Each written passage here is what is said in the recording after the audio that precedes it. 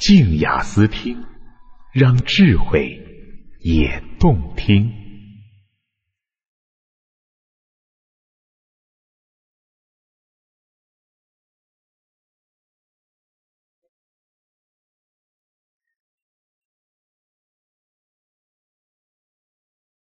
极简亚洲千年史十亚洲及事件上，作者斯图亚特·戈登，译者冯益达。第十章亚洲级世界，公元五百年至一千五百年。公元五百年至一千五百年的亚洲世界是大帝国与大会所所属之地。东南亚有势利佛氏、蒲甘、吴哥、占婆与大越等王国。中国虽然经历了数代王朝更迭，但仍旧与整个亚洲紧密相连。印度也有帝国，以德里为根据地的贵霜帝国、德里苏丹国与莫卧儿帝国。印度南方还有朱罗王朝与皮舍耶那迦罗王朝。中东地区有阿巴斯王朝，中亚则有众所皆知的世界最大帝国成吉思汗帝国以及帖木儿帝国。这几个国度中的人口实际上比整个西欧的人口要多。亚洲是个由鲜明的对比所构成的广大世界，从沙漠到高山，从季风雨林到干燥的平原。亚洲所拥有的文化与语言之多，令人目不暇接。形形色色的地方宗教与各个佛教、伊斯兰教、印度教教派分布在整个浩瀚的地区。但让大亚洲世界如此独特的，却是这个世界里的各种网络，官僚、学者、奴隶、思想、宗教与植物都沿着互相交错的路线移动着，延伸的家族纽带跨越了上万里的距离，从沉甸甸的再生青铜到薄如蝉翼的丝绸，贸易商也为各种产品寻找着市场。为了清楚认识这个世界。这里把各张独挑大梁的旅人走的路线都画在同一张地图上，图上的交汇点则是曾有两名或以上的旅人造访过的城市，而这些交通路线和网络所连接的世界，是一个起自中国、横跨中亚、深入印度与中东北非以及部分撒哈拉以南非洲地区的世界。帝国与都会。亚洲帝国有着运用若干手段以促进与其他王国间的交流联系的倾向，他们的领土跨越了天然的生态边界，各个地区与社会还通过意想不到的方式结合在一起。南印度的朱罗王国打造了海军，征服了斯里兰卡、爪哇与苏门答腊等岛屿，在政治上将印度与中南亚联系在了一起。成吉思汗同时统治着欧亚草原与中国的农业地带，行政上的延续普遍促进了不同生态区之间的贸易。马的贸易从欧亚草原往印度平原发展，稻米贸易则是由中国南方发展到北方，而铁则由大马士革运抵阿富汗。大国还创造了中国货币与迪拉姆银币等流通各地的通货，建立了让地方度量衡能够标准化的根据。这些国家还经常为了可靠的通信而组织邮驿体系。亚伯拉罕本意优从门格洛尔所寄出的信，不过一个多月就被送到了开罗。伊本巴图塔发现，他的介绍信从遥远的印度西界送往德里，再从德里送回来的时间不超过两个月。德里、北京、巴格达、皮舍耶纳加罗这些大都会虽然令人印象深刻。大小更是当时任何欧洲城市的好几倍大，但中型城市的重要性也不落人后。这些帝国基本上都是靠地方大族势力扩张而兴起，而这些地方大族则是从地区性的首府、中型城市发迹的。帝国一旦衰落，多半都会分裂为地区性的继承国家。地区性的首府不但常常能生存下来，还能繁荣茁壮。中型城市也因此一直是消费需求、学识与赞助的长期来源。更有甚者，这些城市还培养出经略帝国所不可或缺的官僚人力。城市无论大小，都需要基本的食物、布匹、燃料与建筑材料。城市里的上层阶级还会吸引更精美的亚洲贸易商品到来。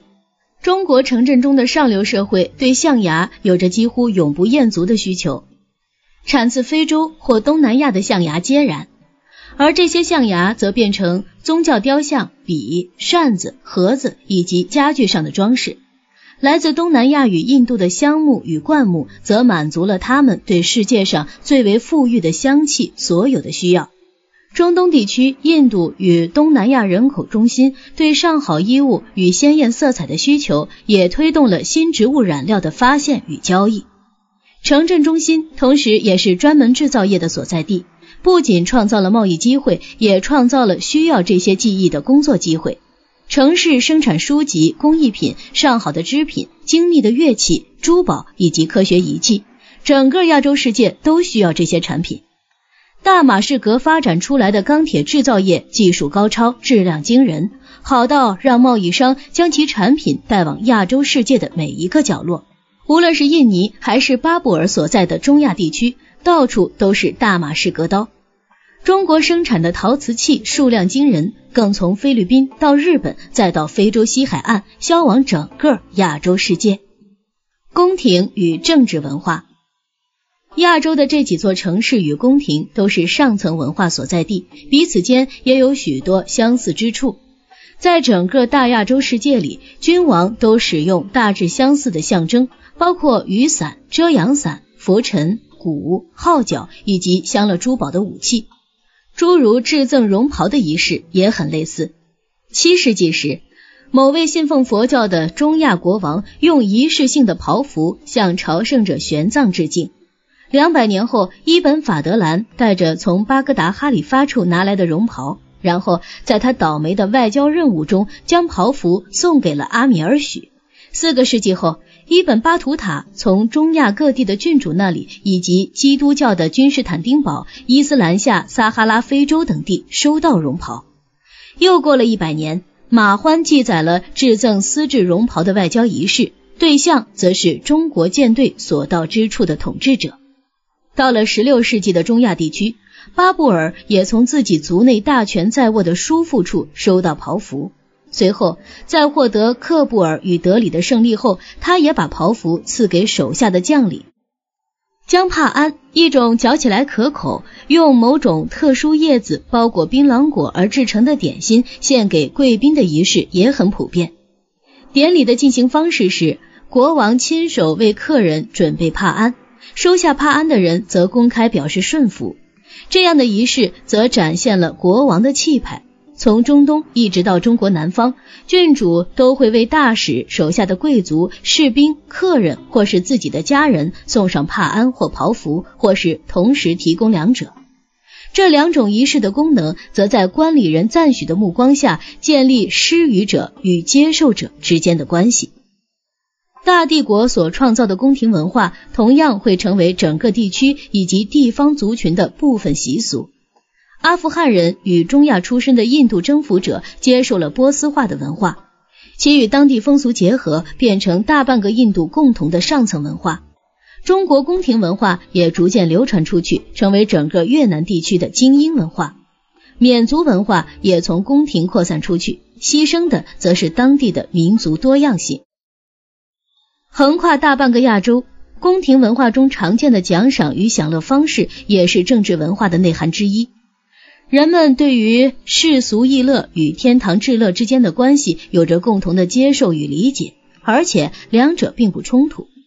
本书的诸旅人里有好几个人都来自宫廷圈，浸淫在典型的宫廷之乐中。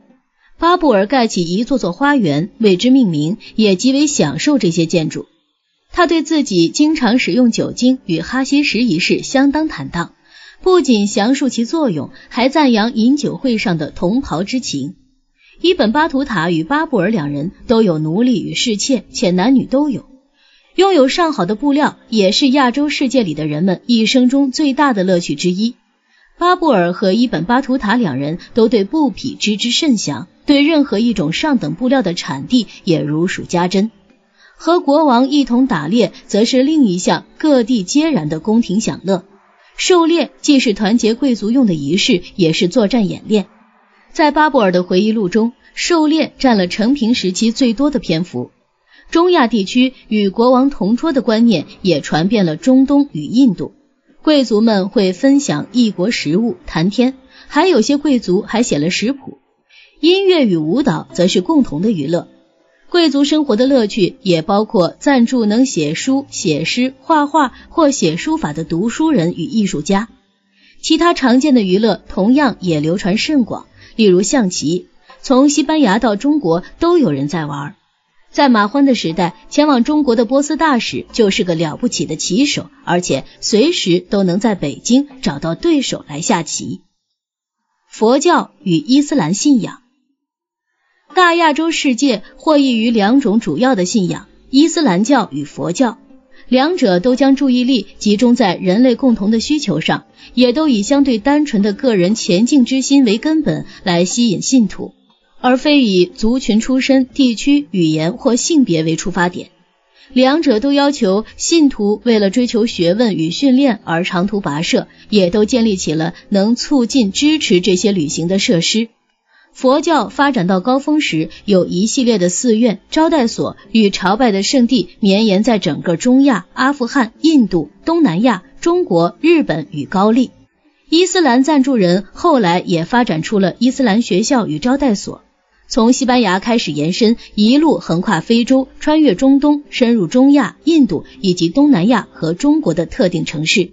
这些机构让信徒能在离家千万里处找到避风遮雨之地。与其他人一起祷告，而在这两种信仰中，无论是兴建招待所、为商人搭起市集，还是沿路种树供人乘凉，都是很有福报的举动。这两种宗教都提供了法律体系，约束各自社群内的人际关系，而伊斯兰教法与佛教习俗都创造出了广大的社群，能够接纳一帮人并排解纷争。伊斯兰教与佛教都提供了制度架构，让思想流通的特别广，得以受到讨论。七世纪时，玄奘从中国穿过中亚抵达印度，一路上他辩论的主题都大抵相同。如果到了东南亚，他同样也能在整个地方找到类似的辩论以及能支持论述的经典。七个世纪以后，从阿富汗到西班牙之间都有人在讨论评说伊本西拿的著作。有一点很重要，无论是伊斯兰教还是佛教，都没有像基督教在欧洲那样占据主导地位。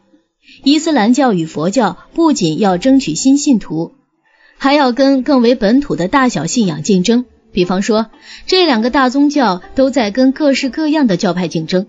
在印度是婆罗门教，在波斯则是索罗亚斯德信仰。同时还要面对东南亚与中亚当地的生殖力崇拜和祖先崇拜，以及中国的儒教与道教。这种理念的复杂交错，带来了派系间的战争、宗教迫害。人们每隔一段时间就号召建立正统信仰，地方上也会发生一种信仰体系压迫另一种信仰体系的情况。尽管如此。这些竞争仍然为人类在社会中以及天地间的地位这一论题创造了影响广泛且深远的探究与讨论，而在最有创建的答案中，有许多便来自各种信仰交汇之处。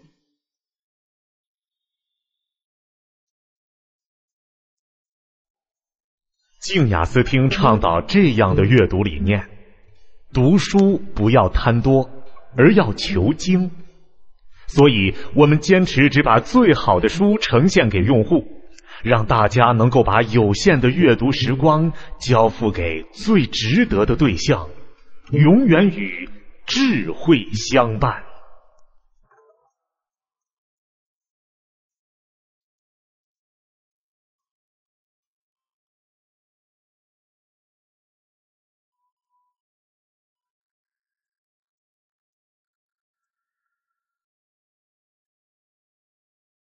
静雅思听，让智慧也动听。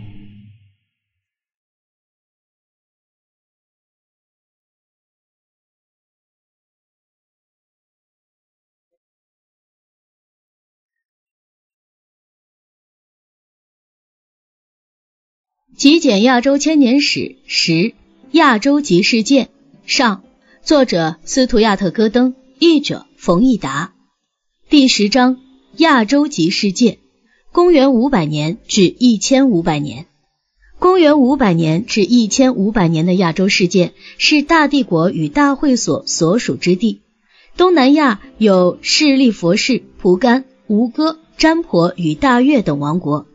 中国虽然经历了数代王朝更迭，但仍旧与整个亚洲紧密相连。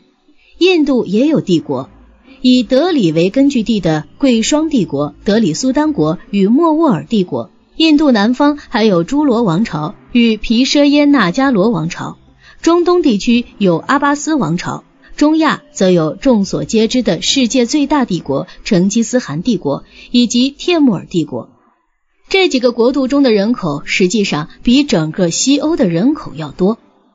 亚洲是个由鲜明的对比所构成的广大世界，从沙漠到高山，从季风雨林到干燥的平原，亚洲所拥有的文化与语言之多，令人目不暇接。形形色色的地方宗教与各个佛教、伊斯兰教、印度教教派分布在整个浩瀚的地区，但让大亚洲世界如此独特的，却是这个世界里的各种网络、官僚、学者、奴隶、思想、宗教与植物，都沿着互相交错的路线移动着，延伸的家族纽带跨越了上万里的距离，从沉甸甸的再生青铜到薄如蝉翼的丝绸。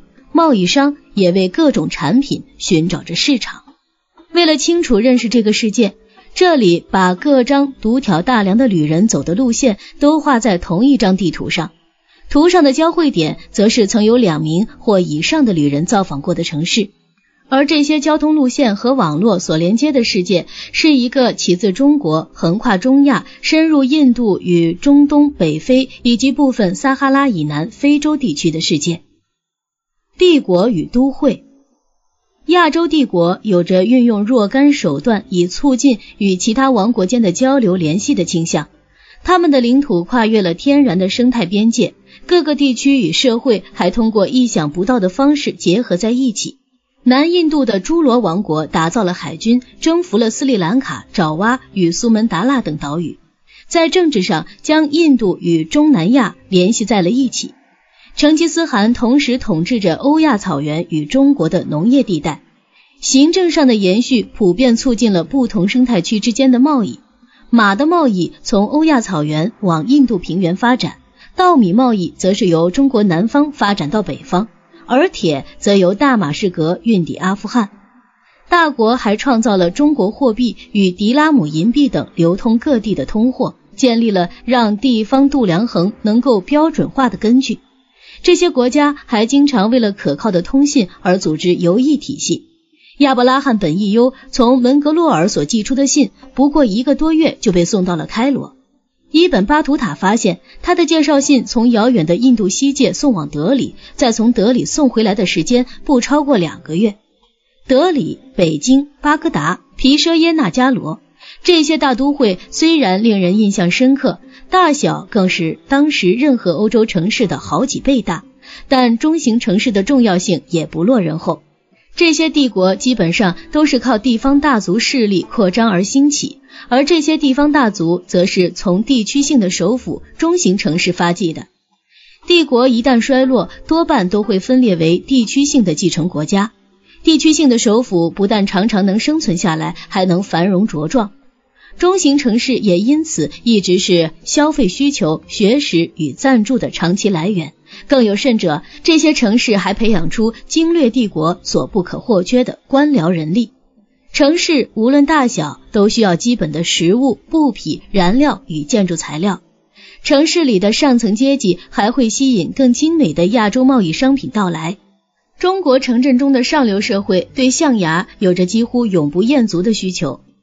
产自非洲或东南亚的象牙皆然，而这些象牙则变成宗教雕像、笔、扇子、盒子以及家具上的装饰。来自东南亚与印度的香木与灌木，则满足了他们对世界上最为富裕的香气所有的需要。中东地区，印度与东南亚人口中心对上好衣物与鲜艳色彩的需求，也推动了新植物染料的发现与交易。城镇中心同时也是专门制造业的所在地，不仅创造了贸易机会，也创造了需要这些技艺的工作机会。城市生产书籍、工艺品、上好的织品、精密的乐器、珠宝以及科学仪器，整个亚洲世界都需要这些产品。大马士革发展出来的钢铁制造业技术高超，质量惊人，好到让贸易商将其产品带往亚洲世界的每一个角落。无论是印尼还是巴布尔所在的中亚地区，到处都是大马士革刀。中国生产的陶瓷器数量惊人，更从菲律宾到日本，再到非洲西海岸，销往整个亚洲世界。宫廷与政治文化。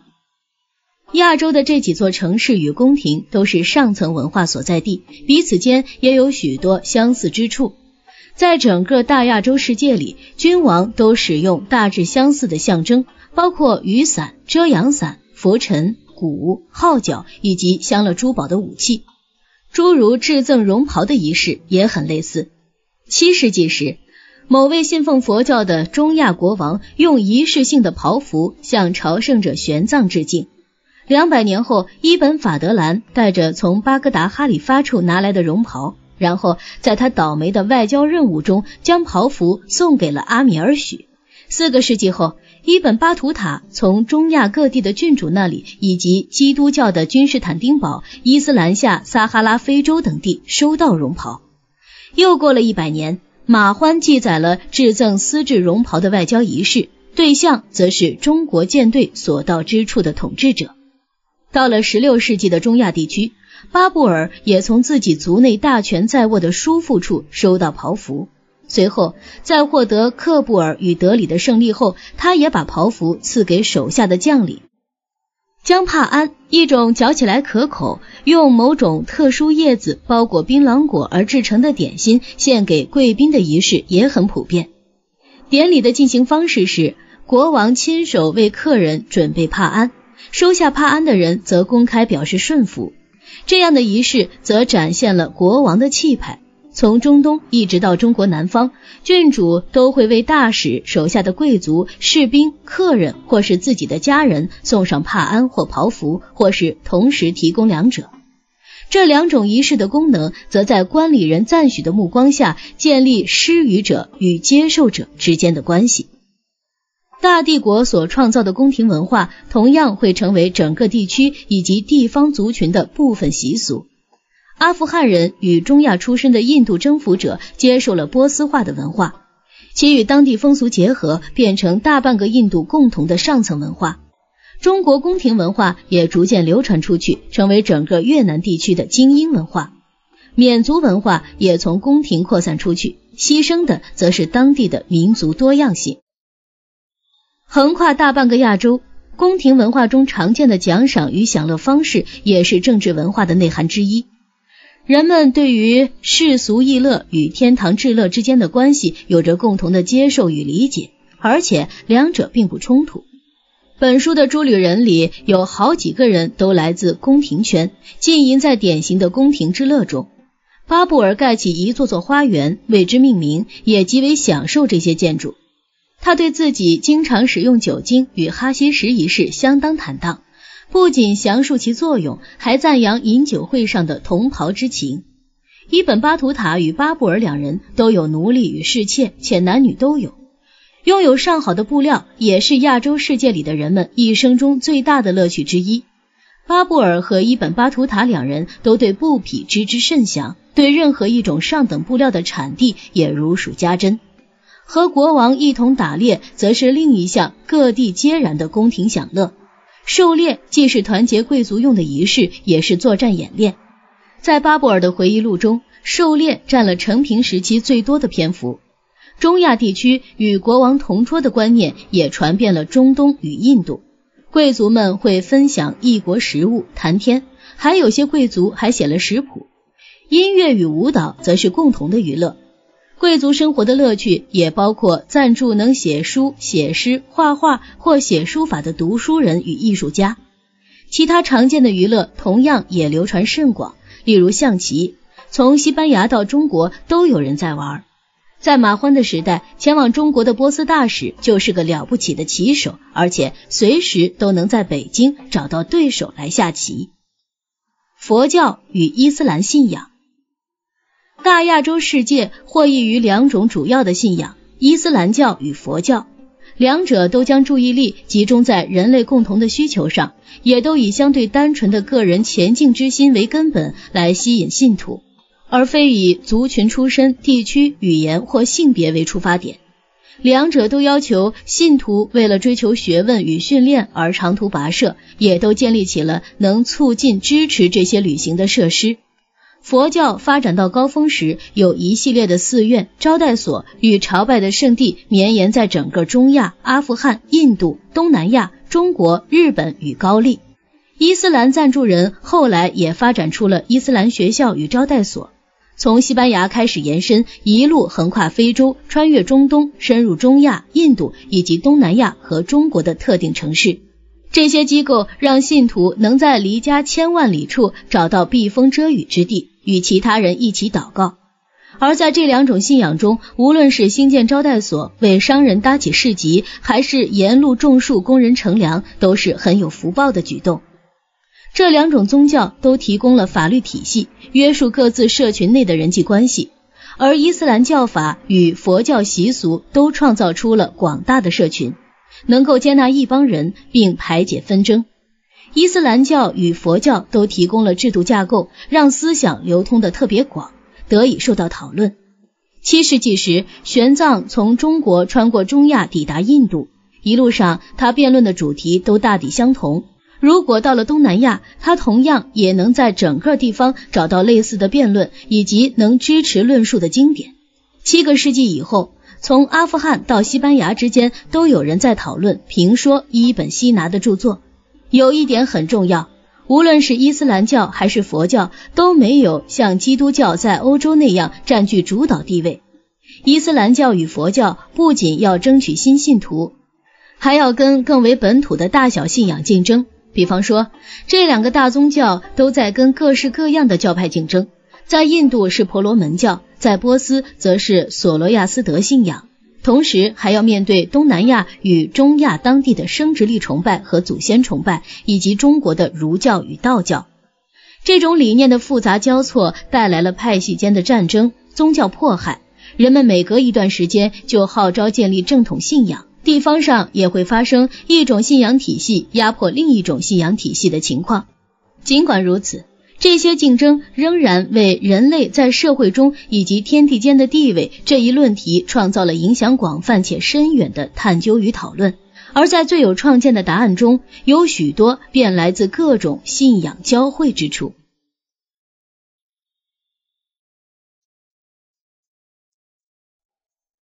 静雅思听倡导这样的阅读理念：读书不要贪多，而要求精。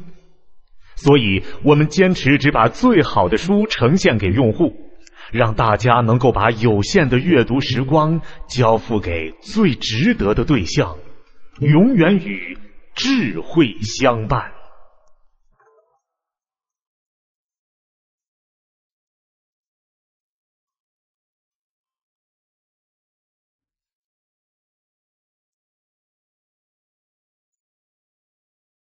静雅思听。让智慧也动听。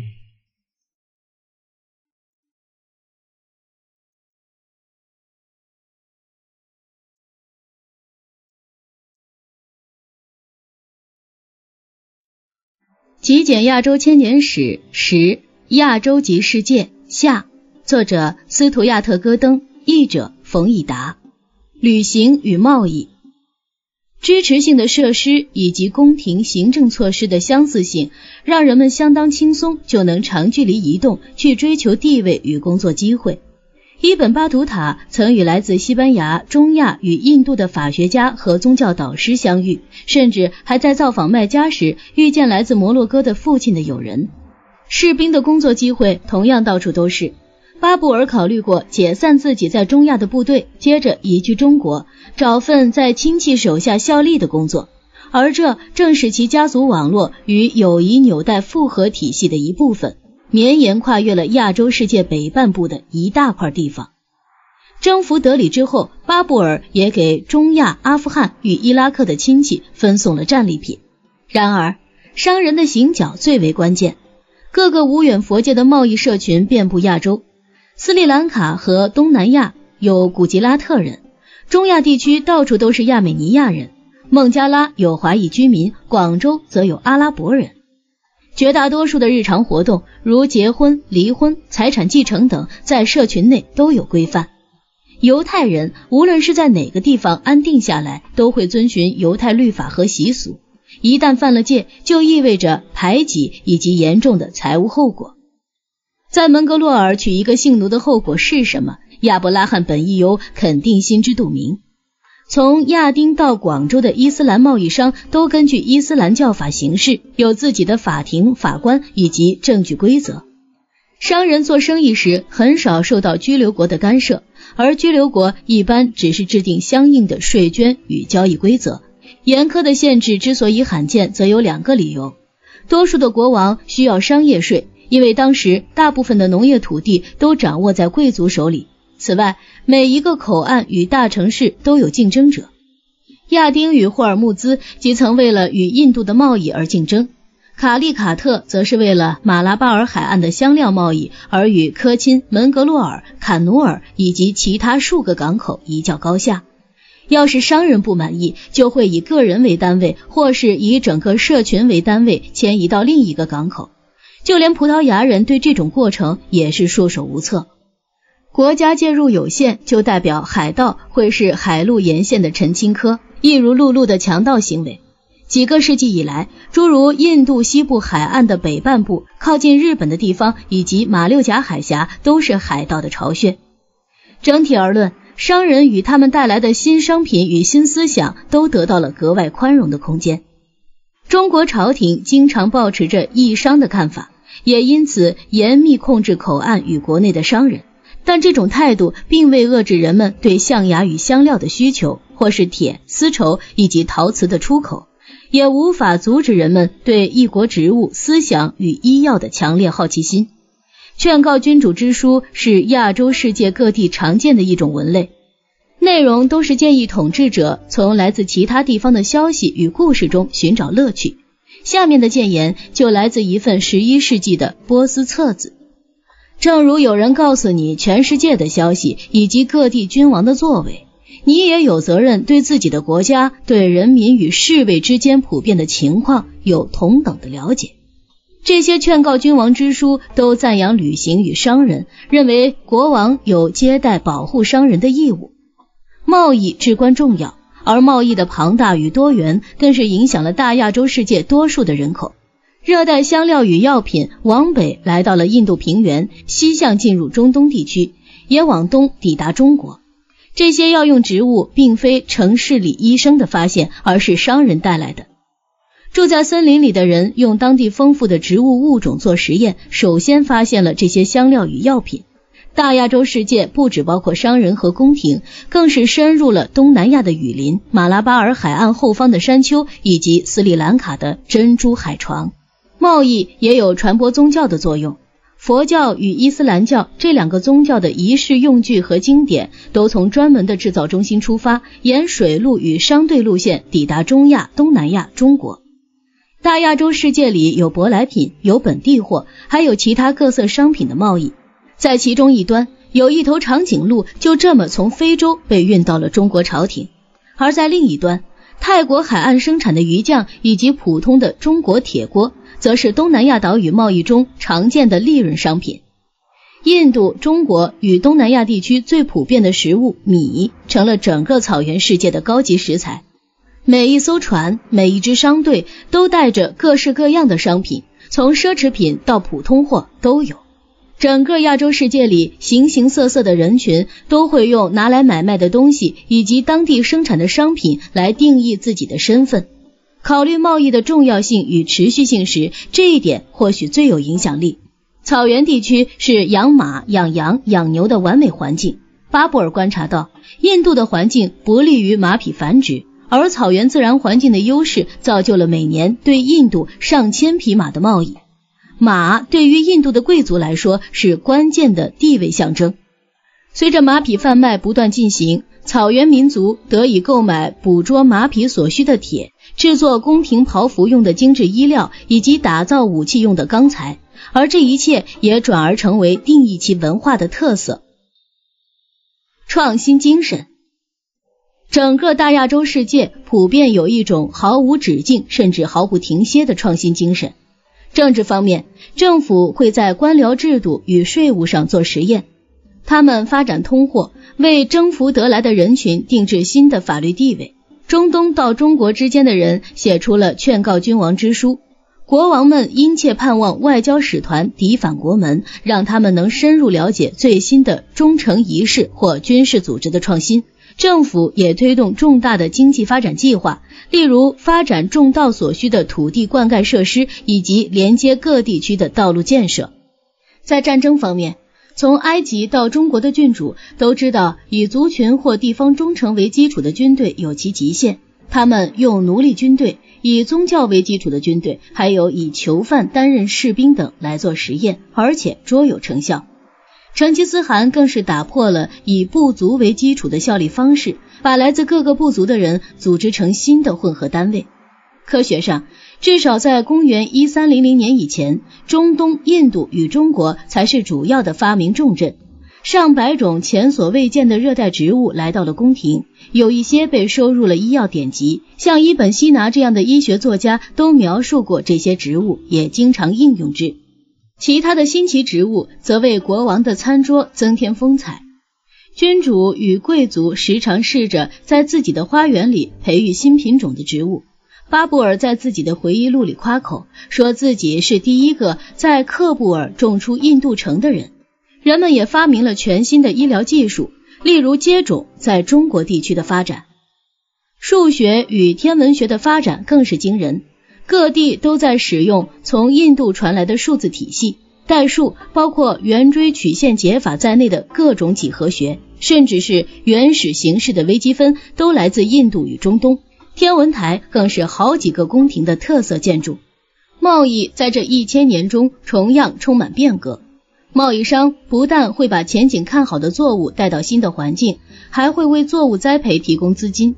犹太商人将甘蔗带出了印度。开始在尼罗河沿岸种植芒果与胡椒，种植也从印度传到了印尼，成为当地的经济作物。企业家先是开拓新的市场，接着参考古吉拉特印花棉衣、巴格达花砖、哈里发国银币、中国陶瓷、大马士革刀与中国丝绸等昂贵的进口货，在当地仿制廉价的复制品。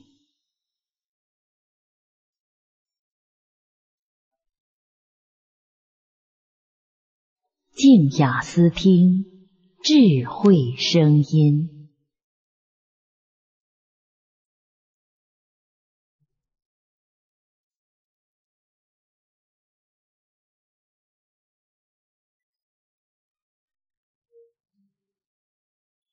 自我观察，亚洲世界的人不仅察觉到自己的存在，也对此有一定见解。这种自我意识在当时的欧洲并不普遍。尤其是在中国和中东地区，传记与自传的出现犹如百花齐放；而在印度，是真的有上千本书来教人如何过生活，以及应该如何活成有道德的生命。诗人想着爱情里的伤痛与疏忽即逝的美，画家不仅描绘自己的世界，对异域风情也有特别的关注。人们能够从文字描述与绘画中知道被带到中国的那头长颈鹿，史书与地理书籍也数不胜数。大亚洲世界活力惊人，足以承受日常生活中甚至是世纪规模的变化与分裂。当巴格达这座大城衰落了，贸易便转移到后继国家的都城雷伊、巴尔赫、布哈拉与加兹尼。当阿拉伯商人成了穆斯林，他们就开始在贸易路线上沿路兴建清真寺，投入自己的新宗教。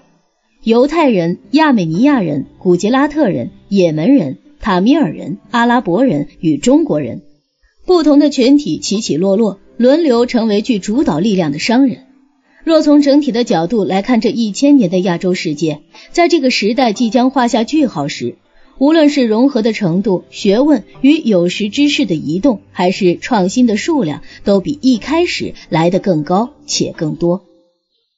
欧洲人的殖民征服行动，亚洲世界内有许多人注意到欧洲人，也就是人们所说的戴帽子的人，不仅和自己种族不同，保持的看法也不同。亚洲与威尼斯、热那亚、布拉格当然有贸易关系。伊本·法德兰也曾观察到长久以来沿俄罗斯境内河流发展的贸易，但整体而言，欧洲与亚洲在知识讨论、宗教辩论、家族纽带、贸易伙伴关系、外交使团、宫廷行政事务、道德规范、诗作、音乐、流行风潮与艺术等各种交流密切的网络之间却没有什么交流。欧洲人来到亚洲时，一方面声明自己是商人。一方面却又是国王的代表，直接对其统治者负责。这种做法前所未见，大出人们意料之外。亚洲世界里没有商人能代表国王。虽然亚伯拉罕本意优来自开罗，但他绝对不会认为自己有忠于埃及统治者的必要，也不会自认是埃及统治者的代表。欧洲商人还拥兵自重。亚洲商人虽然也经常雇佣护卫队来保护商旅或船只，但他们很少卷入战争。欧洲人将欧洲大陆与地中海地区实行百年之久的将贸易与战争互相交织的观念带到亚洲。比方说，欧洲人就认为王室投入贸易活动、铸造大炮的做法是一种直接有利于政治的行动。最后一点。欧洲人还随身带着一种自己是葡萄牙人或英格兰人兼基督徒的想法。伊斯兰教不同派别对信仰的诠释的确曾引发战争。伊斯兰教在扩张时也的确曾对佛教寺院发动进攻。但欧洲人对基督徒和异教徒的区分并不存在于亚洲世界。回想一下，亚伯拉罕本意优的生意团体包括了当地的北印度人、古吉拉特人与穆斯林。欧洲人对亚洲世界完全就是外行人。欧洲人鲜少从不同种族族群出身的当地贤达中招募人来担任重要职位，高官的位子永远会交到来自母国的人或白种人手上。欧洲人使用他们独有的奖励与授勋仪式，而没有采用能在亚洲看到的仪式，比如绒袍加身。就实际面来看。这些欧洲人的态度意味着征服行动都是由欧洲国王所推动，而非地方上的指挥官。没有任何欧洲人曾经在亚洲建立独立的王国，除了婆罗洲的拉者布鲁克。这跟巴布尔的做法截然不同。他知道，为了让自己的军队与王国延续下去，他就必须和手下的指挥官以及自己的族人分享部分的征服土地。巴布尔的做法才是整个亚洲的典型模式。就连官僚化的哈里发国、帝国政体的中国，或是沃莫尔帝国瓦解时，也都是军事将领根据自己过去的征服所得，将帝国分割成各个继承国家。欧洲人成功结合了合伙贸易公司、对国王的忠诚心以及职业军官团的观念，从而避免其征服成果落入军事指挥官的手中。这一切并非一蹴可就。亚洲观察家还注意到，欧洲军队抵达战场时倾向于集体行动。亚洲军队不仅不是如此，某些社会的个别将领更是常常在战争前夕倒戈。当将领被杀时，欧洲军队也不会因此瓦解。亚洲人还观察到，条约永远是以欧洲国王或贸易公司之名缔结，从来不曾以指挥官的名义签订。即便欧洲人拥有军事组织以及民族忠诚心萌芽等优势，但凸显欧洲人征服殖民亚洲的过程之慢，仍然是件重要的事。英格兰直到十九世纪才成为印度最大的势力，荷兰很早就在东南亚岛屿与斯里兰卡取得成功，但没能将其帝国延伸到岛屿以外的地方。俄罗斯到了十七世纪才征服欧亚草原东部。欧洲人干预中东地区多半是二十世纪的现象，而中国也从未遭受有如印度那般程度的殖民。纵使有欧洲人的征服行动，这个广袤浩瀚、联系紧密且相互信赖的亚洲世界依然在殖民统治之下延续。即便处于欧洲人管辖之下，阿拉伯船只每年依旧载着古吉拉特制造的衣服航向非洲，再回黄金。华商搬迁到加尔各答新的不列颠口岸居住，数以千计的马匹一如往昔从中亚高地被带往印度。总而言之，殖民势力削弱地方政治发展，将亚洲经济重新导向为殖民国服务的步调，并非一蹴而就。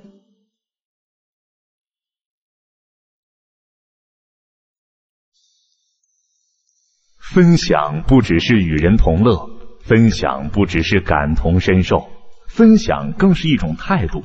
它在表达着你的生活趣味和价值取向。分享静雅思听给朋友，分享有温度的声音，亮出你的态度。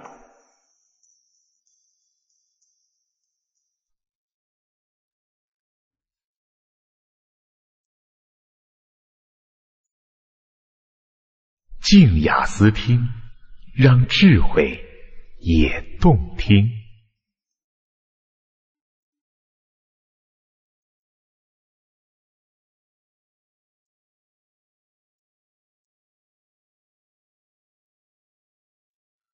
极简亚洲千年史十亚洲及世界下，作者斯图亚特·戈登，译者冯以达。旅行与贸易，支持性的设施以及宫廷行政措施的相似性，让人们相当轻松就能长距离移动去追求地位与工作机会。伊本·巴图塔曾与来自西班牙、中亚与印度的法学家和宗教导师相遇，甚至还在造访麦加时遇见来自摩洛哥的父亲的友人。士兵的工作机会同样到处都是。巴布尔考虑过解散自己在中亚的部队，接着移居中国，找份在亲戚手下效力的工作，而这正是其家族网络与友谊纽带复合体系的一部分。绵延跨越了亚洲世界北半部的一大块地方。征服德里之后，巴布尔也给中亚、阿富汗与伊拉克的亲戚分送了战利品。然而，商人的行脚最为关键。各个无远佛界的贸易社群遍布亚洲，斯里兰卡和东南亚有古吉拉特人，中亚地区到处都是亚美尼亚人，孟加拉有华裔居民，广州则有阿拉伯人。绝大多数的日常活动，如结婚、离婚、财产继承等，在社群内都有规范。犹太人无论是在哪个地方安定下来，都会遵循犹太律法和习俗。一旦犯了戒，就意味着排挤以及严重的财务后果。在门格洛尔娶一个性奴的后果是什么？亚伯拉罕本意尤肯定心知肚明。从亚丁到广州的伊斯兰贸易商都根据伊斯兰教法行事，有自己的法庭、法官以及证据规则。商人做生意时很少受到居留国的干涉，而居留国一般只是制定相应的税捐与交易规则。严苛的限制之所以罕见，则有两个理由：多数的国王需要商业税，因为当时大部分的农业土地都掌握在贵族手里。此外，每一个口岸与大城市都有竞争者。亚丁与霍尔木兹即曾为了与印度的贸易而竞争，卡利卡特则是为了马拉巴尔海岸的香料贸易而与科钦、门格洛尔、坎努尔以及其他数个港口一较高下。要是商人不满意，就会以个人为单位，或是以整个社群为单位迁移到另一个港口。就连葡萄牙人对这种过程也是束手无策。国家介入有限，就代表海盗会是海陆沿线的陈钦科，一如陆路的强盗行为。几个世纪以来，诸如印度西部海岸的北半部、靠近日本的地方以及马六甲海峡，都是海盗的巢穴。整体而论，商人与他们带来的新商品与新思想都得到了格外宽容的空间。中国朝廷经常保持着抑商的看法，也因此严密控制口岸与国内的商人。但这种态度并未遏制人们对象牙与香料的需求，或是铁、丝绸以及陶瓷的出口，也无法阻止人们对异国植物、思想与医药的强烈好奇心。劝告君主之书是亚洲世界各地常见的一种文类，内容都是建议统治者从来自其他地方的消息与故事中寻找乐趣。下面的谏言就来自一份十一世纪的波斯册子。正如有人告诉你全世界的消息以及各地君王的作为，你也有责任对自己的国家、对人民与侍卫之间普遍的情况有同等的了解。这些劝告君王之书都赞扬旅行与商人，认为国王有接待、保护商人的义务。贸易至关重要，而贸易的庞大与多元，更是影响了大亚洲世界多数的人口。热带香料与药品往北来到了印度平原，西向进入中东地区，也往东抵达中国。这些药用植物并非城市里医生的发现，而是商人带来的。住在森林里的人用当地丰富的植物物种做实验，首先发现了这些香料与药品。大亚洲世界不只包括商人和宫廷，更是深入了东南亚的雨林、马拉巴尔海岸后方的山丘以及斯里兰卡的珍珠海床。贸易也有传播宗教的作用，佛教与伊斯兰教这两个宗教的仪式用具和经典，都从专门的制造中心出发，沿水路与商队路线抵达中亚、东南亚、中国。大亚洲世界里有舶来品，有本地货，还有其他各色商品的贸易。在其中一端，有一头长颈鹿，就这么从非洲被运到了中国朝廷；而在另一端，泰国海岸生产的鱼酱以及普通的中国铁锅，则是东南亚岛屿贸易中常见的利润商品。印度、中国与东南亚地区最普遍的食物米，成了整个草原世界的高级食材。每一艘船，每一支商队，都带着各式各样的商品，从奢侈品到普通货都有。整个亚洲世界里，形形色色的人群都会用拿来买卖的东西以及当地生产的商品来定义自己的身份。考虑贸易的重要性与持续性时，这一点或许最有影响力。草原地区是养马、养羊、养牛的完美环境。巴布尔观察到，印度的环境不利于马匹繁殖，而草原自然环境的优势造就了每年对印度上千匹马的贸易。马对于印度的贵族来说是关键的地位象征。随着马匹贩卖不断进行，草原民族得以购买捕捉马匹所需的铁，制作宫廷袍服用的精致衣料，以及打造武器用的钢材，而这一切也转而成为定义其文化的特色。创新精神，整个大亚洲世界普遍有一种毫无止境甚至毫不停歇的创新精神。政治方面，政府会在官僚制度与税务上做实验。他们发展通货，为征服得来的人群定制新的法律地位。中东到中国之间的人写出了劝告君王之书，国王们殷切盼望外交使团抵返国门，让他们能深入了解最新的忠诚仪式或军事组织的创新。政府也推动重大的经济发展计划。例如，发展种稻所需的土地灌溉设施，以及连接各地区的道路建设。在战争方面，从埃及到中国的郡主都知道，以族群或地方忠诚为基础的军队有其极限。他们用奴隶军队、以宗教为基础的军队，还有以囚犯担任士兵等来做实验，而且卓有成效。成吉思汗更是打破了以部族为基础的效力方式。把来自各个部族的人组织成新的混合单位。科学上，至少在公元一三零零年以前，中东、印度与中国才是主要的发明重镇。上百种前所未见的热带植物来到了宫廷，有一些被收入了医药典籍，像伊本·西拿这样的医学作家都描述过这些植物，也经常应用之。其他的新奇植物则为国王的餐桌增添风采。君主与贵族时常试着在自己的花园里培育新品种的植物。巴布尔在自己的回忆录里夸口，说自己是第一个在克布尔种出印度橙的人。人们也发明了全新的医疗技术，例如接种在中国地区的发展。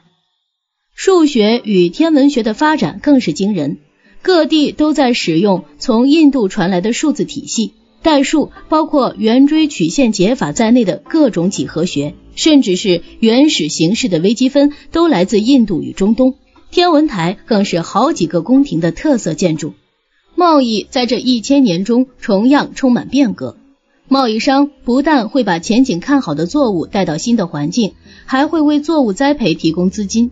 犹太商人将甘蔗带出了印度，开始在尼罗河沿岸种植。芒果与胡椒种植也从印度传到了印尼，成为当地的经济作物。企业家先是开拓新的市场，接着参考古吉拉特印花棉衣、巴格达花砖、哈里发国银币、中国陶瓷、大马士革刀与中国丝绸等昂贵的进口货，在当地仿制廉价的复制品。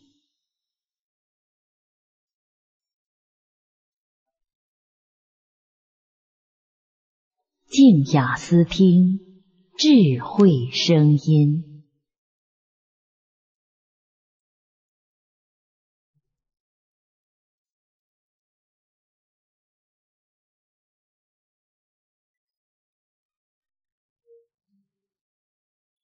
自我观察，亚洲世界的人不仅察觉到自己的存在，也对此有一定见解。这种自我意识在当时的欧洲并不普遍，尤其是在中国和中东地区，传记与自传的出现犹如百花齐放；而在印度，是真的有上千本书来教人如何过生活，以及应该如何活成有道德的生命。诗人想着爱情里的伤痛与疏忽即逝的美。画家不仅描绘自己的世界，对异域风情也有特别的关注。人们能够从文字描述与绘画中知道被带到中国的那头长颈鹿。史书与地理书籍也数不胜数。大亚洲世界活力惊人，足以承受日常生活中甚至是世纪规模的变化与分裂。当巴格达这座大城衰落了。贸易便转移到后继国家的都城雷伊、巴尔赫、布哈拉与加兹尼。当阿拉伯商人成了穆斯林，他们就开始在贸易路线上沿路兴建清真寺，投入自己的新宗教。犹太人、亚美尼亚人、古吉拉特人、也门人、塔米尔人、阿拉伯人与中国人，不同的群体起起落落，轮流成为具主导力量的商人。若从整体的角度来看，这一千年的亚洲世界，在这个时代即将画下句号时，无论是融合的程度、学问与有识之士的移动，还是创新的数量，都比一开始来得更高且更多。欧洲人的殖民征服行动，亚洲世界内有许多人注意到，欧洲人，也就是人们所说的戴帽子的人，不仅和自己种族不同，抱持的看法也不同。亚洲与威尼斯、热那亚、布拉格当然有贸易关系。伊本·法德兰也曾观察到长久以来沿俄罗斯境内河流发展的贸易。但整体而言，欧洲与亚洲在知识讨论、宗教辩论、家族纽带、贸易伙伴关系、外交使团、宫廷行政事务、道德规范、诗作、音乐、流行风潮与艺术等各种交流密切的网络之间，却没有什么交流。欧洲人来到亚洲时，一方面声明自己是商人，一方面却又是国王的代表，直接对其统治者负责。这种做法前所未见，大出人们意料之外。亚洲世界里没有商人能代表国王。虽然亚伯拉罕本意优来自开罗，但他绝对不会认为自己有忠于埃及统治者的必要，也不会自认是埃及统治者的代表。欧洲商人还拥兵自重。亚洲商人虽然也经常雇佣护卫队来保护商旅或船只，但他们很少卷入战争。欧洲人将欧洲大陆与地中海地区实行百年之久的将贸易与战争互相交织的观念带到亚洲。比方说，欧洲人就认为王室投入贸易活动、铸造大炮的做法是一种直接有利于政治的行动。最后一点。欧洲人还随身带着一种自己是葡萄牙人或英格兰人兼基督徒的想法。伊斯兰教不同派别对信仰的诠释的确曾引发战争。伊斯兰教在扩张时也的确曾对佛教寺院发动进攻。但欧洲人对基督徒和异教徒的区分并不存在于亚洲世界。回想一下，亚伯拉罕本意优的生意团体包括了当地的北印度人、古吉拉特人与穆斯林。欧洲人对亚洲世界完全就是外行人。欧洲人鲜少从不同种族族群出身的当地贤达中招募人来担任重要职位，高官的位子永远会交到来自母国的人或白种人手上。欧洲人使用他们独有的奖励与授勋仪式，而没有采用能在亚洲看到的仪式，比如绒袍加身。就实际面来看。这些欧洲人的态度意味着征服行动都是由欧洲国王所推动，而非地方上的指挥官。没有任何欧洲人曾经在亚洲建立独立的王国，除了婆罗洲的拉者布鲁克。这跟巴布尔的做法截然不同。他知道，为了让自己的军队与王国延续下去，他就必须和手下的指挥官以及自己的族人分享部分的征服土地。巴布尔的做法才是整个亚洲的典型模式。就连官僚化的哈里发国、帝国政体的中国，或是沃莫尔帝国瓦解时，也都是军事将领根据自己过去的征服所得，将帝国分割成各个继承国家。欧洲人成功结合了合伙贸易公司、对国王的忠诚心以及职业军官团的观念，从而避免其征服成果落入军事指挥官的手中。这一切并非一蹴可就。亚洲观察家还注意到，欧洲军队抵达战场时倾向于集体行动。亚洲军队不仅不是如此，某些社会的个别将领更是常常在战争前夕倒戈。当将领被杀时，欧洲军队也不会因此瓦解。亚洲人还观察到，条约永远是以欧洲国王或贸易公司之名缔结，从来不曾以指挥官的名义签订。即便欧洲人拥有军事组织以及民族忠诚心萌芽等优势，但凸显欧洲人征服殖民亚洲的过程之慢，仍然是件重要的事。英格兰直到十九世纪才成为印度最大的势力。荷兰很早就在东南亚岛屿与斯里兰卡取得成功，但没能将其帝国延伸到岛屿以外的地方。俄罗斯到了十七世纪才征服欧亚草原东部。欧洲人干预中东地区多半是二十世纪的现象，而中国也从未遭受有如印度那般程度的殖民。纵使有欧洲人的征服行动。这个广袤浩瀚、联系紧密且相互信赖的亚洲世界，依然在殖民统治之下延续。即便处于欧洲人管辖之下，阿拉伯船只每年依旧载着古吉拉特制造的衣服航向非洲，再回黄金。华商搬迁到加尔各答新的不列颠口岸居住，数以千计的马匹一如往昔从中亚高地被带往印度。总而言之，殖民势力削弱地方政治发展。将亚洲经济重新导向为殖民国服务的步调，并非一蹴而就。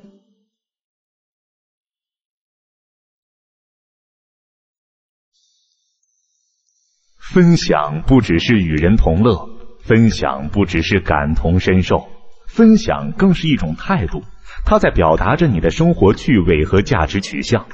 分享静雅思听给朋友，分享有温度的声音。亮出你的态度。